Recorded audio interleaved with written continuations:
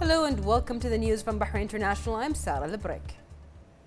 His Royal Highness the Prime Minister Prince Khalifa bin Salman Al Khalifa chaired the weekly cabinet meeting remotely with the participation of His Royal Highness the Crown Prince, Deputy Supreme Commander and First Deputy Prime Minister Prince Salman bin Hamad Al Khalifa. The Secretary General of the Cabinet Dr. Yasser bin Isa Nasser made the following statement. His Royal Highness, the Prime Minister, praised the achievement of Bahraini workers and their role in further developing the kingdom. He commended the efforts of workers and their unions in enhancing the work environment under the reign of His Majesty King Hamad bin Isa Al Khalifa. On the occasion of the World Press Freedom Day, His Royal Highness affirmed the full support of the government to press freedom, for it is to perform its noble message enlightening the public. The Premier then directed to submit the National Ambulance Performance Report. The cabinet then looked into a number of items on its agenda and uh, took the following decisions. In an effort to execute the directives of His Royal Highness the Premier and His Royal Highness the Crown Prince to increase the scope of the beneficiaries from the financial and economic stimulus, the cabinet approved supporting 950 tax taxis and buses by up to 300 Bahraini dinars per month until June, along with 829 driving trainers and 422 kindergarten workers, including 102 who do not have social insurance. The cabinet approved a draft law to build the Mohammed bin Mubarak Al Khalifa Academy for Diplomatic Studies, according to which the Academy's board would be appointed under the leadership of the Minister of Foreign Affairs and with the membership of six affiliates of the ministry. The cabinet approved revising the law number 40 of the year 1999, according to which the citizens of the GCC countries may purchase real estate properties to include mechanisms to allow for passing property through inheritance.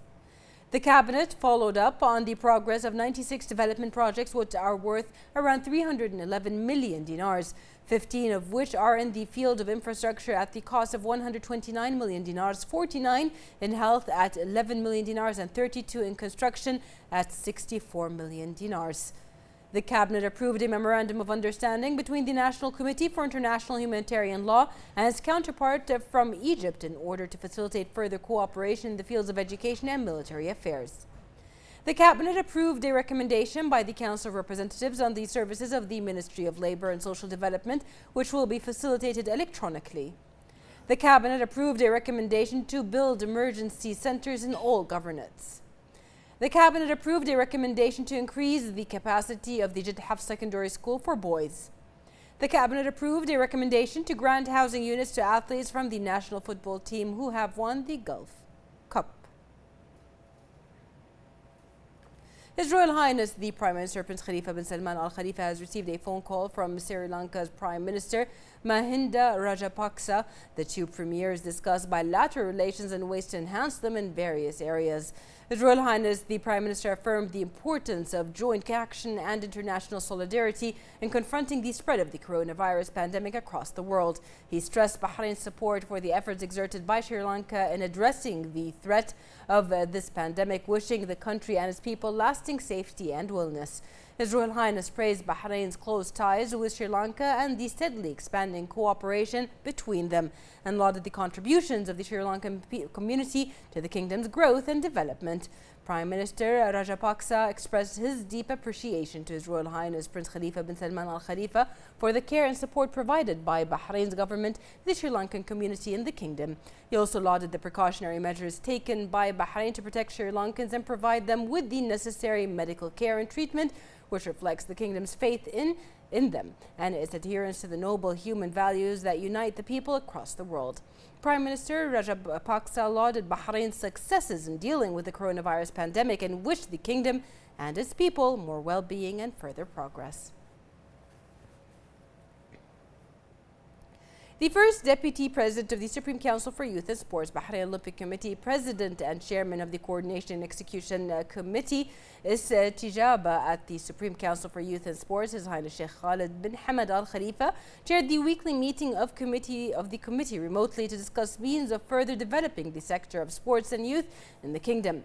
The meeting was attended by the Minister of Education, Majid Naimi, the Minister of Works, Municipalities Affairs and Urban Planning, Isam bin Khalaf, the Minister of Youth and Sports Affairs Ayman Al Muayyad, the president of the Civil Service Bureau Ahmed Zayed, and the representative of the Legislating and Legal Opinion Commission, as well as members of the Istijaba Committee.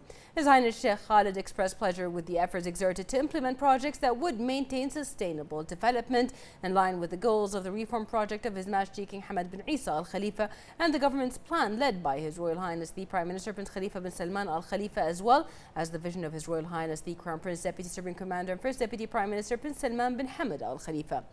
His Highness discussed a number of projects aimed at developing the youth and sports sector in line with the vision of the representative of His Majesty the King for Charity Work and Youth Affairs National Security Advisor and Chairman of the Supreme Council for Youth and Sport, His Highness Sheikh Nasser bin Hamad Al Khalifa.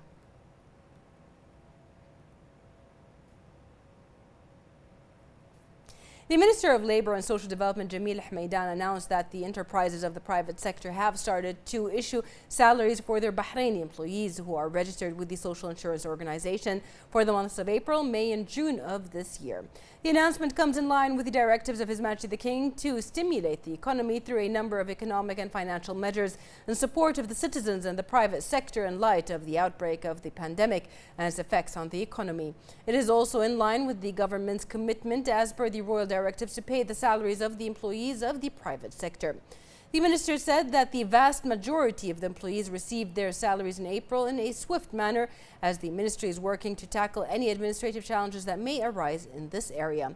Hameidan added that the stimulus funds have already been deposited to the accounts of various enterprises of the private sector thanks to the comprehensive database on the labor force that the kingdom enjoys.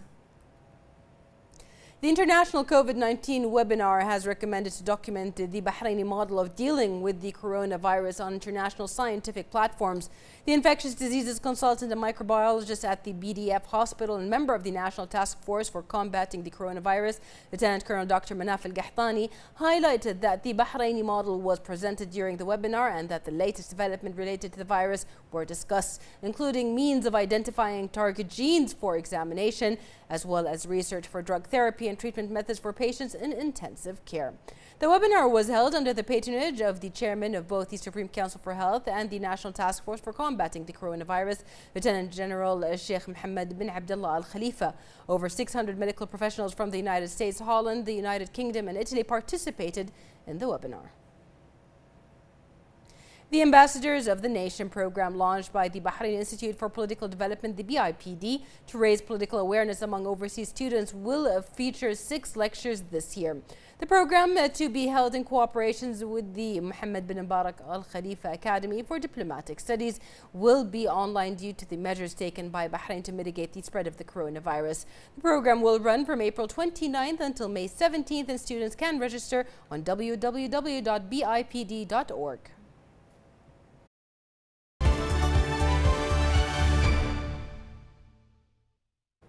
In our international news, the General Directorate of the Affairs of the Holy Mosque of Saudi Arabia has carried out a series of precautionary measures, including social distancing, to keep worshippers from praying closely to one another during the performance of the Taraweeh prayers at the Holy Mosque.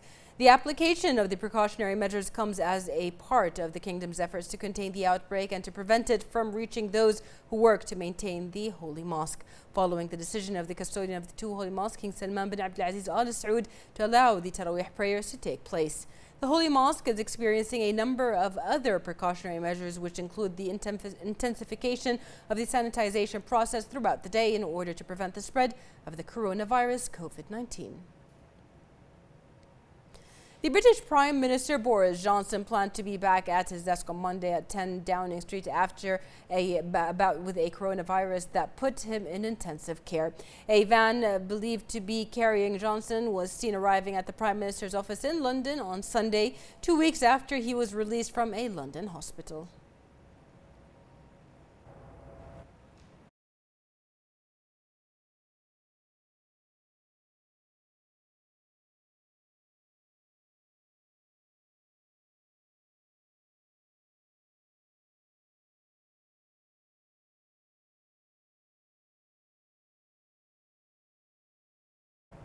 Here's Yasmin Ibrahim with the latest business news. Thank you, Sarah.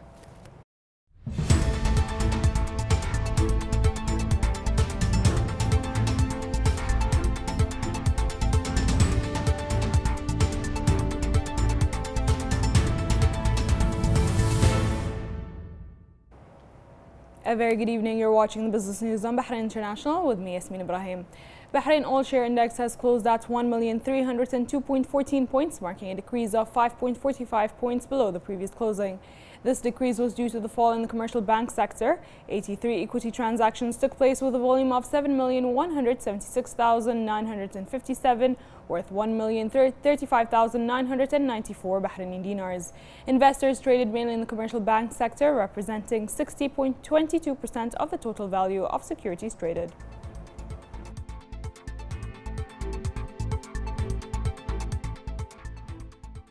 Experts have welcomed a royal decree to partially lift the coronavirus curfew across Saudi Arabia, saying it will revive business activity and increase consumption. Saudi Arabia's main stock exchange reacted positively to the decree to climb 3.54%. Seven companies reached the daily limit of 10%. 194 companies closed up and only one company closed down. Construction companies and factories are allowed to resume their activities without restrictions on time. Wholesale and retail trade stores as well as commercial centers and malls are also reopening. Egypt is seeking an aid package from the International Monetary Fund to offset the impact of the pandemic. In a televised press conference with the central bank governor and other ministers, Egypt did not specify the size of the one-year financial aid package the government was seeking. The impact of the virus has been severe for Egypt. Foreign reserves dropped from 45.5 billion US dollars in February to 40.1 billion US dollars at the end of March. Japan's central bank is making it easier for cash-strapped companies to get funding in response to the growing economy devastation from the pandemic. The Bank of Japan decided at a meeting today to ease monetary policy, including expanding the purchase of commercial papers and corporate bonds, which work to deliver cash to companies. In a move that was widely expected, the central bank also decided to remove the ceiling on its purchase of government bonds. It already has been purchasing trillions of yen worth of government bonds to counter deflation. STOXX restarted production at its auto plants in Czech Republic today after the country's far-reaching lockdown was eased. Employees arriving for work at the manufacturer's plant received face masks and other protective gear. Security staff performed random temperature checks on the workers as they passed through the entrance gates. Due to the pandemic, Skoda Auto halted production operations at all three of its Czech plants on the 18th of March. Employees received 70% of their salary from March 18 to March 29 after after which the sum was increased to 75%. And finally, before we conclude our business news for this evening, let's take a look at how stock markets around the world fared in daily trading.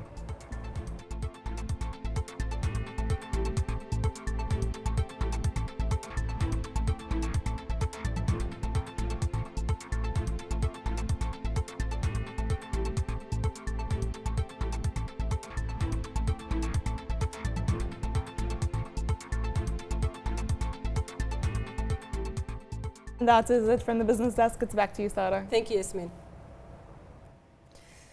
Trash becomes treasure. Treasure fit for a virus pandemic. A Hong Kong upcycler is turning household waste into face masks and goggles amid the battle against the coronavirus. Fong Yik Hung is a children's games designer and amateur upcycler who is turning rubbish into protective gear. Milk cartons become masks while a single-use plastic sandwich box becomes a pair of goggles. None of the items are scientifically proven to protect wearers, but with a shortage of proper protective equipment, his designs are drawing the public's attention.